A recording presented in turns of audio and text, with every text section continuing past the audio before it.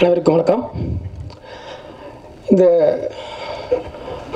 Shoe திரைப்படத்தினுடைய இந்த நிகழ்ச்சி வந்து இந்த நிகழ்ச்சியே வந்து இந்த படத்தோட வெற்றிக்கு ஒரு சான்று அப்படின்னு சொல்லலாம். ஏன்னா நானும் பல திரைப்படங்களுடைய இந்த அறிமுக நிகழ்ச்சிகள் எல்லாத்தையும் கலந்துருக்கேன். பொதுவாக எந்த நிகழ்ச்சியிலுமே வந்து தயாரிப்பாளர்கள் டைரக்டரை கூப்பிட்டு முதல் முறையாக சால்வை அணிவிச்சு சந்தோஷம் ஒரு படம் முடிஞ்ச உடனே வந்து அறிவுபடுத்திருக்கிறது முதல் முறையாக இங்கே தான் நிகழ்ந்திருக்கு. உண்மையிலே அது வந்து ரொம்ப ஒரு பெரிய பாராட்ட வேண்டிய விஷயம்.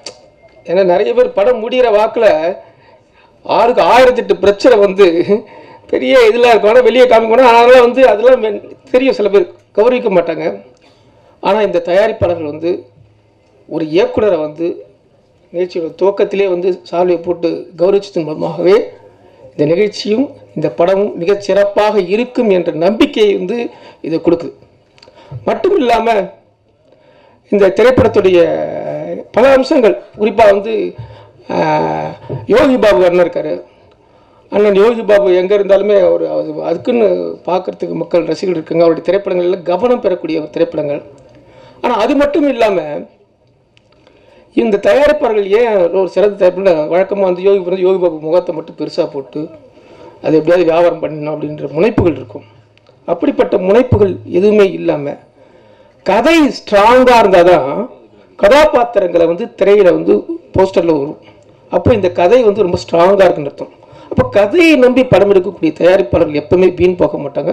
இந்த படம் நிச்சயம் வந்து ஒரு நல்ல சிறந்த கதையை வந்து சொல்லக்கூடிய படம் அப்படிங்கிறது இந்த முகப்பிலே தெரியுது. அடுத்ததாக இந்த நிகழ்ச்சியை நடத்துகிற விதம் வந்து பார்த்திங்கன்னா இந்த எல்லார் கையிலையும் வந்து ஒரு புத்தகத்தை கொடுத்துருக்காங்க. திரைப்படத்துறையில் வந்து ஒரு நிகழ்ச்சியில் வந்து எல்லார் கையிலும் புத்தகத்தை கொடுக்கறதுங்கிறது ரொம்ப அரிதான விஷயம். அதுவும் எந்த மாதிரி புத்தகம் ஒரு யாரோ ஒரு சிறந்த எழுத்தாளர் புத்தகமாக தான் இருக்குன்னு நினைக்கிறேன். ஏன்னா அது எழுதுனது நான் தான். என்னுடைய புத்தகம் தான் அது வந்து. ஆமாம் இந்த புத்தகத்துக்கு பின்னாடி பெரிய கதை இருக்கு. ஏன்னா செம்மொழி மாநாட்டை ஒட்டி நாங்கள் வந்து ஒரு சிறந்த புத்தகம் ஒன்று தயாரிக்கிறோம்னு சொல்லிட்டு அப்போ இருந்த முன்னாள் அமைச்சர் பரிதியல் மனிதர்கள் வந்து என்னுடைய நண்பர்கள் எல்லாம் சேர்ந்து ஒரு திட்டமிட்டோம்.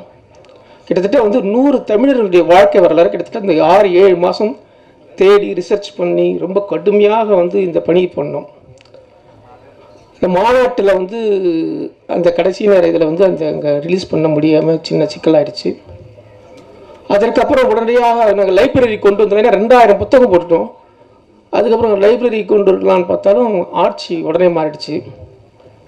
அதனால இந்த புத்தகத்தை நாங்கள் கடையில் கொண்டு போய் யாரும் வாங்க மாட்டாங்க. ஏன்னா இந்த இவ்வளோ பெரிய புத்தகத்தை விற்கிறது கடையில் வாங்க முடியாத விலை வந்து ஆயிரத்தி இரநூறுவா பெரிய தடி புக்கு தூக்கிட்டு போகிறதுக்குலாம் இல்லை. ஏன்னா இந்த புத்தகத்தில் திறந்து பார்த்தா வந்து தமிழ் அறிஞருடைய புத்தகம் இதெல்லாம் யார் வாங்குவாங்கன்னு சொல்லிட்டு யார் வாங்காத இருந்தாங்க.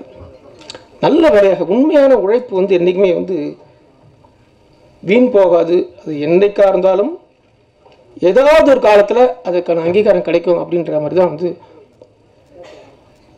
ஒரு பு- கிட்டத்தட்ட வந்து எழுதி நாங்கள் எல்லாம் என் புத்தகத்தை என்கிட்ட சம் அதுக்கு பணம் கூட கொடுத்து என்கிட்ட வந்து ஒரு ரெண்டாயிரம் புக்கு கொடுத்தாங்க வீட்டில் வைக்கிறதுக்கு இடம் இல்லை. ரெண்டு வச்சுட்டேன்.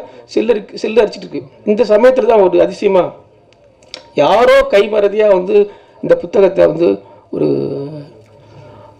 தலைவர் மு க ஸ்டாலினுடைய உதவியாளர் ஒருத்தருடைய நிகழ்ச்சிக்கு கொடுக்க அவங்க பார்த்து அதுக்கப்புறம் தான் வந்து இவ்வளோ அருமையான புத்தகம் இவ்வளோ நாள் வெளியே வராமல் போயிடுச்சு. ஏன்னா பரிதி மனதில் இறந்துட்டார் பாருங்கள வெளியே வராமல் போயிடுச்சுன்னு சொல்லிட்டு அவங்க தான் வந்து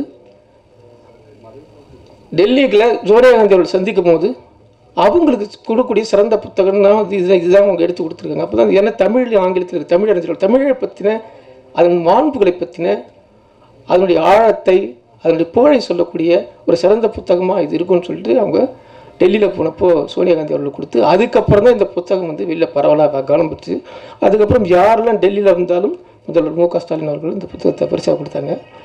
அப்படி தான் இந்த இது கிட்டத்தட்ட ஒரு ஏழு எட்டு வருஷம் கழிச்சு இந்த புத்தகத்துக்கு வந்து ஒரு அங்கீகாரம் கிடச்சி தம்பி கோபி கூட எனக்கு கூட நிகழ்ச்சிக்குள்ள போய் இந்த புத்தகத்துக்காக தான் கூப்பிட்டாருன்னு அப்படி நீங்களும் வந்து உங்களுக்கே உங்கள் புத்தகத்தை பைசா கொடுக்குறோம் அப்படின்னாங்க. இது ஒரு வித்தியாசமான ஒரு விஷயம் தான் எனக்கு. அப்படிப்பட்ட ஒரு நல்ல விஷயங்கள் நடக்கக்கூடிய மேடை என்பதால் இதெல்லாம் அறிகுறி தான். இல்லைன்னா வந்து ஒரு எல்லா படம் வெற்றின்றது வந்து பார்த்திங்கன்னா முன்னாடியே தெரியும் சில விஷயங்களில். அப்படி சில வெற்றிக்கான சில சமிக்ஞைகள் இந்த படத்தின் துவக்கத்திலிருந்தே இதை பார்க்கக்கூடியதாக இருக்குது நல்ல சிறந்த இசையமைப்பாளர் சாம் சிஎஸ் ஒரு அற்புதமான நான் வந்து தியா லட்சுமி இந்த மாதிரி படங்கள்லாம் ஒர்க் பண்ணியிருக்கேன் ரொம்ப அற்புதமான நல்ல வேலை அவர் நடிகனாக இருக்காரு இது வரைக்கும். அது ஒரு நல்ல விஷயந்தான் ஒரு இன்னும் நடிகனாலும் நல்ல விஷயந்தான் ஆனாலும் ஒரு ஒரு சிறந்த இசையமைப்பாளர். இவர் தம்பி முத்தமிழ் அவருடைய தொடர்ந்து பல பாடல்கள் ஹிட் ஆகிட்டுருக்கு அவருக்கும் இந்த படத்தில் நிறைய பேர் நல்லா நடிச்சிருக்காங்க. இதெல்லாமே சேர்ந்து இந்த படத்தை வெற்றி வைக்கும் எனக்கு நம்பிக்கை இருக்குது அப்புறம் இந்த நிகழ்ச்சிக்கு தலைமையேற்கிற நம்ம எங்களுடைய எழுத்தாளர் சங்கத்தின் தலைவராக கிட்டத்தட்ட இப்போ ஒரு நான்காண்டு காலத்துக்கு பிறகு திரும்ப போட்டியிடக்கூடிய திரு பாக்கியராஜ் அவர்கள். அவருக்கு இது ஏன் சொல்லணும்னா நானும் முதல்ல ஒரு செயற்குழு உறுப்பினர் ஒருத்தராக போ- போட்டியிருந்தேன். சார் வந்து அதில் வந்து எனக்கு ஒரு பெரிய பெருமை. ஏன்னா உண்மைக்காக உண்மைங்கிறது பெரிய வார்த்தை. சிம்பிளான வார்த்தை தான் ஆனால் வந்து ரொம்ப பெரிய வார்த்தை கஷ்டமான வார்த்தை. அதன் பக்கம் நிற்கிறது இருக்குல்ல. எத்தனை கஷ்டங்கள் எத்தனை தடைகள் வந்தாலும் அது எல்லாம் எதிர்த்து நிற்கக்கூடிய மன வலிமைங்கிறதுல அவ்வளோ சாதாரணம் இல்லை. கடைசியில் பேரும் எதுவும் கிடைக்காது. ஆனா உண்மை பக்கம் நிக்கிறதுனால தான் இந்த உலகம் வந்து இந்த அறத்தின் பால் வந்து இருக்கிறது வந்து யார் உண்மை பக்கம் யாரோ சிலர். அந்த கடைசி வரைக்கும் விடாப்பிடியா பிடிச்சிக்கிட்டு இருக்கிறதுல இந்த உலகம் சுழலுது. அப்படிப்பட்ட ஒருத்தர் தான் நான் திரு பாக்கியராஜ் அவர்களை பார்க்குறேன் ஏன்னா கடந்த நான்கு ஆண்டுகள் வந்து எழுத்தாளர் சங்கம்னாலே வந்து பார்த்தீங்கன்னா இருக்கிற பெப்சியில் வந்து வந்து ஜப்பான் இது நம்ம ஐரோப்பாவின் நோயாளி துருக்கின்னு அது மாதிரி நம்ம பெப்சியில் வந்து எழுத்தாளர் சங்கம். கண்டுக்கவே மாட்டாங்க. அது லிஸ்ட்டில் என்னவங்க என் எதுக்கு நிறைய பேர் பேசியிருக்காங்க? எழுத்தாளர் சங்கம். அது ஏன் ரொம்ப நாள் டெய்ல் போய் வால்மார் வெட்டிட்டு இருக்கு? அதை கட் பண்ணி இயக்குனர் சங்கத்தில் சேர்த்துலாமே அப்படிங்குவாங்க ஏ? பார்க்குறாங்க அது. ஆனால் வந்து பார்த்தீங்கன்னா யோசிச்சு பாருங்க. சாரோட சொன்னார் லியாத்தன் சார் கூட சொன்னார். கதைங்கிறது கதையில் விதை. இந்த உலகம் வந்து சந்தோஷமா இருக்குன்னு பார்த்தீங்கன்னா அது வெறும்னே அப்படி அதுக்கு வந்து இந்த மாதிரி திரைப்படங்களில் சொல்லக்கூடிய கரு திரைப்படங்கள் மூலமாக மக்கள் வந்து சிந்திக்க வைக்கிறது அதில் கூட எண்ணங்கள் சமூகத்தை கலாச்சாரத்தை மாற்றி அமைக்கிறதுல இந்த கதை இந்த நாவல் இலக்கியத்தை விட சினிமாவுக்கு மிகப்பெரிய பங்கு இருக்கு. அப்படி ஒரு சமூகத்தையே இன்னைக்கு தமிழ் சமூகம் சிறப்பாக இருக்குன்னா அதுக்கு நம்ம படங்கள் தான் காரணம் பராசக்தி மாதிரி படங்கள் அதில் இன்னைக்கு வரைக்கும் இந்த இந்தியா ரேங்கிங் இல்லை இல்லை.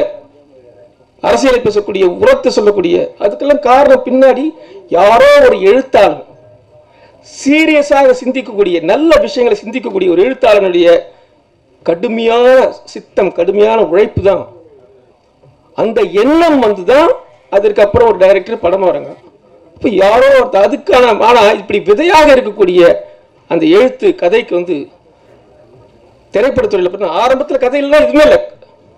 ஆனால் அது முடிஞ்சதுக்கப்புறம் பார்த்தீங்கன்னா அதுக்கப்புறம் அதுக்கு மரியாதையே இல்லை. லிகாத்த அலி சார் சொன்ன மாதிரி தான் உலகத்தில் எங்கேயுமே இல்லைங்க. டைரக்டர்னு போட்டால் அடுத்து ரைட்டின் தான். இங்கிலீஷ்ல பாருங்க எல்லா படத்துலையும் பாருங்க. டைரக்டர்னு போட்டால் ரிட்டன் தான் அடுத்து வரும். அதுக்கப்புறம் தான் மியூசிக் அதுக்கப்புறம் தான் ஆர்ட் டைரக்டர் எல்லாமே ஒரு பட்டியல் வரும். தமிழ்நாட்டில் மட்டும்தான் எழுத்தாளர் வந்து அஞ்சாவது வரையில ஆறாவது வரையில போடக்கூடிய ஒரு அவலம் இருக்குது. இத்தனைக்கும் மிகப்பெரிய இலக்கிய பாரம்பரிய கொடுக்கக்கூடிய ஒரு தமிழ் சூழல்ல கதாசிரியர்கள்லாம் வந்து மிகப்பெரிய பதவிகளில் அரசியல் பதவிகளில் உழைச்சின சூழலில் சூழல்ல இன்றும் தமிழ் திரைப்படத்துறையில் எழுத்தாளர்களுக்கும் கதையாளர்களுக்கும் வந்து தமிழ்நாட்டில் மட்டும்தான் இது. நீங்கள் ஹிந்திலையும் கிடையாது தெலுங்குலையும் கிடையாது கன்னடத்துலையும் கிடையாது கேரளாலையும் கிடையாது. தமிழ்நாட்டில் மட்டும் ஏன் இந்த அவலம்? ஏன் எழுத்தாளனுக்கு சரியான மரியாதையே இல்லை? அப்படிப்பட்ட ஒரு சூழல்ல திரு பாக்கியராஜ் அவர்கள் எங்களுடைய எல்லாருடைய சார்பாகவும் அவர் வந்து இன்னைக்கு வந்து இந்த எங்களுக்கு ஒரு கௌரவத்தை உருவாக்கினார். முதல்ல இந்த கடந்த நாலு இடங்களில் எழுத்தாளர் சங்கம் ஒன்று இருக்கிறதையும் மக்களுக்கு அறியப்படுத்தி அது மட்டும் இல்லை அதற்கு ஒரு மரியாதையை உருவாக்கினார். அப்படிப்பட்டவர் வந்து இந்த இதில் இந்த தேர்தல் நிற்கிறது எங்களுக்கு எல்லாம் மிகப்பெரிய கௌரவம். அவர் அணியில் நானும் ஒரு செயற்குழு உறுப்பினராக இருக்கிறேன்றது எனக்கு ஒரு மிகப்பெரிய மகிழ்ச்சியான விஷயம். நன்றி வணக்கம்.